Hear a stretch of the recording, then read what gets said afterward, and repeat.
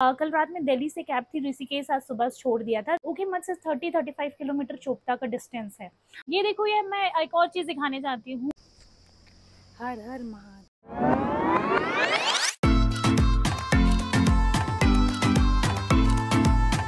Hello दोस्तों welcome back to creator Ekta तो आज हम कुछ ट्राई करने वाले हैं एक लॉन्ग फॉर्मेट व्लॉग क्योंकि ये स्पेशल था इसलिए मैंने सोचा कि इसको व्लॉग करते हो। तो हम आए हैं जैसे कि थंबनेल में देख लिए होगे आप लोग।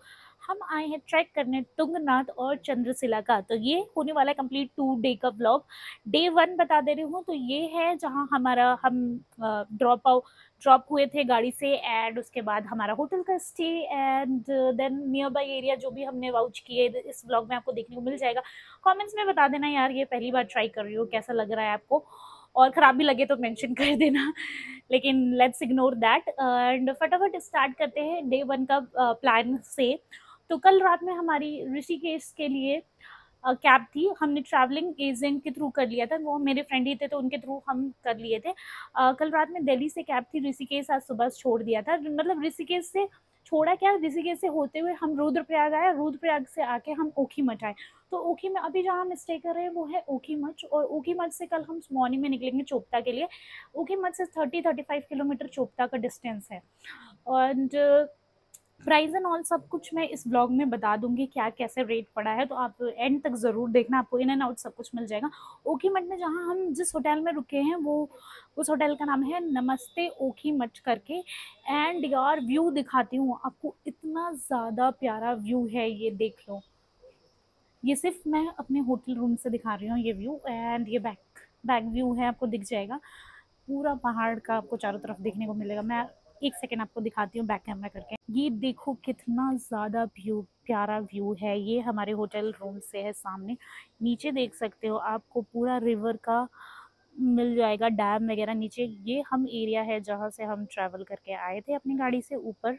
और ये होटल मैंने जैसा कि एक बार और बोल देती हूँ, ये हम ओखी मठ में हमने लिया है। और यहाँ से जो चोपता के लिए है, हम कल निकलेंगे यहाँ से थर्टी थर्टी फाइव किलोमीटर्स का चोपता का डिस्टेंस है। ये देखो मे भी थोड़ा सा धुंधला सा दिख रहा होगा क्योंकि धूप के इफ़ेक्ट की वजह से। बाकी तो बहुत ज़्यादा प्यारा व्यू है। मॉर्निंग में तो और भी ज़्यादा अच्छा लगेगा। ये देखो होटल का भी बहुत ज़्यादा प्यारा है ये। मैं आपको कमरा दिखा देती हूँ। ये हमारे होटल रूम का है। ये वाला एरिया हमने थोड़ा मेस कर रखा है तो ये मत ही देखो तो ज़्यादा बेटर है। ये बहुत काफ़ी ज़्यादा बड़ा वॉशरूम भी सही मिल गया मतलब। तो होटल भी अच्छा हमें मिल गया था। एंड ये देख लो।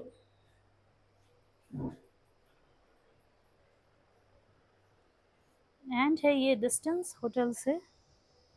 चढ़ा। वे दो नलायक मेरे वीडियो में वीडियो ख़राब करने के लिए आए। अभी से hi to my viewers is so camera shy he don't want to come into vlog, so let it be. ये मेरी बहन हाय आर्या ये मस्त ये खाना वाना खा के आराम कर रहे हैं धूप में और व्यू एंजॉय कर रहे हैं क्योंकि यहाँ पे सारी चेयर्स लगी हुई हैं और इसके साथ ये पूरा वीडियो देख लो यार, यहाँ से तो मुझे डर ही लग रहा है इतना ज़्यादा। ये मुझे हाइट फोबिया है और ये बहुत ज़्यादा ऊँचे पे है।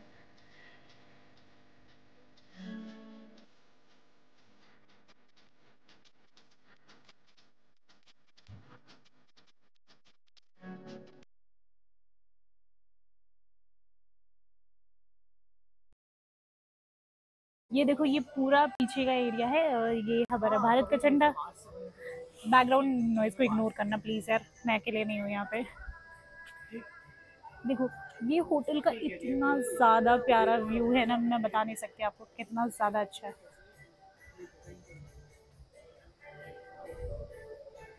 A few moments later. Angle change कर दिया यार लास्ट वाले वीडियो में आ नहीं रहे थे सही से क्लियर ये देखो ये मैं एक और चीज़ दिखाने चाहती हूँ आपको। ये जो पीछे व्यू आपको दिख रहा है, ये पूरे माउंटेन का, ये देखो ये फ़ार्मिंग का कुछ तो नाम है। आप बताओ क्या नाम है? कमेंट्स में मेंशन कर देना।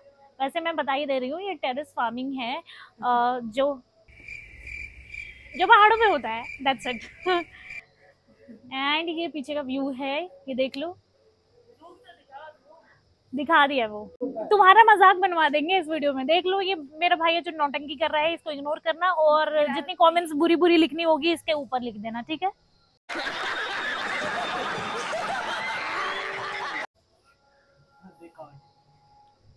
ड्रामे मत कर अभी। घर पे अगर कोई वीडियो देखेगा ना तो तुझे ही पिटवाऊँगी।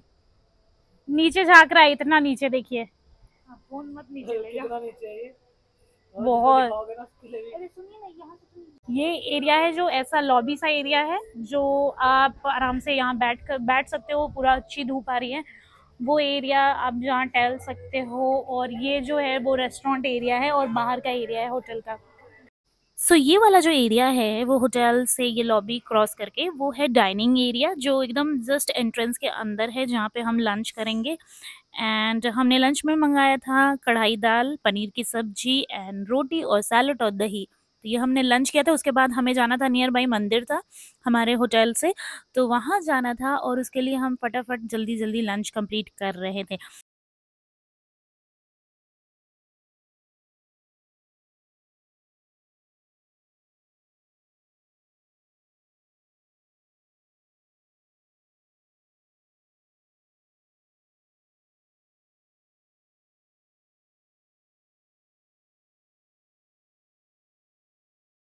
सब तो मज़ाक मस्ती चलती रहती है। चलो पॉइंट पे आते हैं।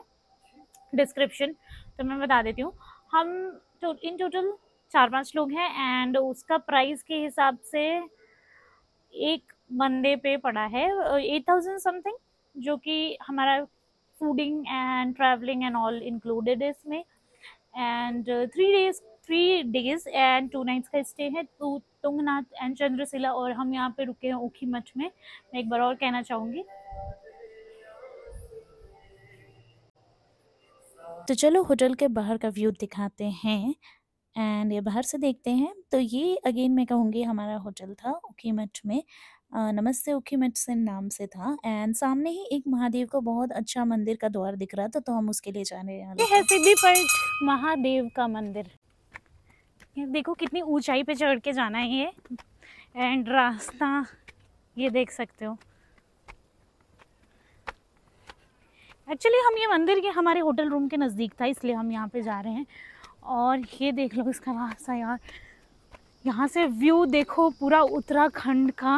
और आपको पता है, जहाँ हम होटल है हमारा, वहाँ से केदारनाथ भी 40 किलोमीटर की दूरी पे है। लेकिन हमारे पास टाइम नहीं है अभी हो ही नहीं पाएगा एक साथ दोनों दोनों ट्रिप इसलिए अब मैंने अपने भाई बहनों से कहा और उन्होंने मना कर दिया। मना करना इन द सेंस अभी के लिए मना कर कर दिया, लेकिन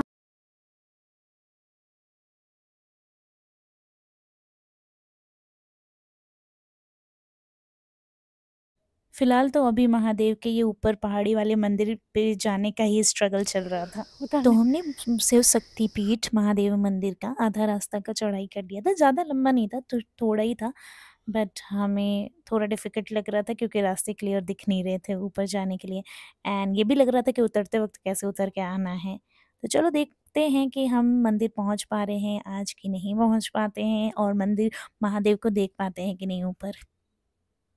अभी तो हमने आधा रास्ते का चढ़ाई किया था और दिख नहीं रहा था हमें सामने कि महादेव का मंदिर किधर है। बस हम जो रास्ते बने हुए थे उस पर चले जा रहे थे। एंड बहुत पतला बहुत ज़्यादा ही पतला रास्ता था। बट देखते हैं महादेव को कैसे हम देख पाते हैं कि नहीं ऊपर जाके एंड और ऊपर जाने की कोशिश करते हैं। और काफ़ी पहाड़ों पर घर और होटल्स भी बने हुए थे काफ़ी अच्छे लग रहे थे और यहाँ से व्यू भी अच्छा आ रहा था। काफ़ी उसके बाद पेड़ पौधे भी जो भी पहाड़ों के जो जंगली पेड़ पौधे थे वो भी काफ़ी ज़्यादा अच्छे लग रहे थे। चेहरा बता रहा है झूठ बोल रहा है। चेहरा बता रहा है झूठ बोल रहा है। यार यहाँ हम घंटों बैठ सकते हैं इतना ज़्यादा अच्छा लग रहा है मतलब पेड़ों के बीच में पहाड़ पे कोई रास्ता ही नहीं दिख रहा है उतरने का। सबसे ज़्यादा डर नीचे उतरने वक्त लगने वाला है।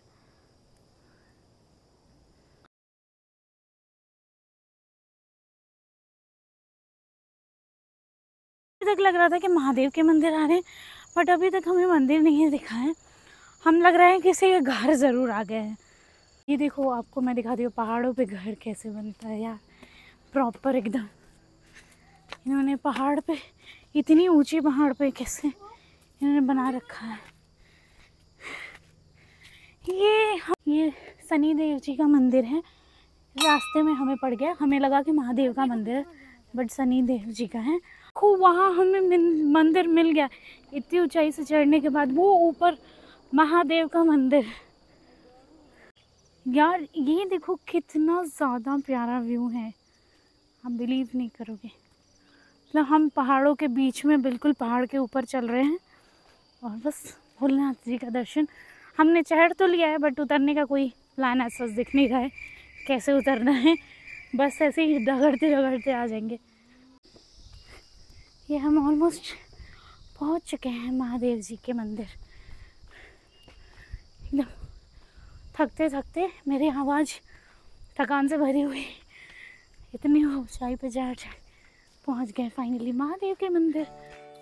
ये हम महादेव के शक्तिपीठ मंदिर के दर्शन करने के बाद अंदर मंदिर के सब कुछ रखा था पूजा करने के लिए। सीधे पीछे गए तो माँ गौरी का और कृष्ण जी का मंदिर था। साथ ही एक बाबा जी भी थे जिन्होंने उन हमें प्रसाद भी दिया और वो स्टोरी बता रहे थे इस मंदिर का कि कैसे सामने वाले पहाड़ पे कोई असुर रहता था और महादेव ने उन्हें कब वध किया था यहीं इस मंदिर आई होप दोस्तों आपको मेरा व्लॉग अच्छा लगा होगा। एंड अभी शाम भी होने को आ गई है। देख लो पहाड़ों पे कितना ज़्यादा प्यारा सनसेट होता है। मैं दिखा दे रही हूँ अपने इस वीडियो में। एंड इसी के साथ हम अपने व्लॉग को यहीं एंड करते हैं। आई होप कि आपको अच्छा लगा होगा ये फ़र्स्ट डे का हमारा व्लॉग सेकेंड डे व्लॉग के लिए आप हमारे चैनल पे बने रहना। To like share and subscribe ज़रूर यार मेरे चैनल को, अगर आपको ये ब्लॉग अच्छा लगे। एंड मिलते हैं मेरी नेक्स्ट वीडियो ब्लॉग में। तो bye bye thank you for watching creator Ekta bye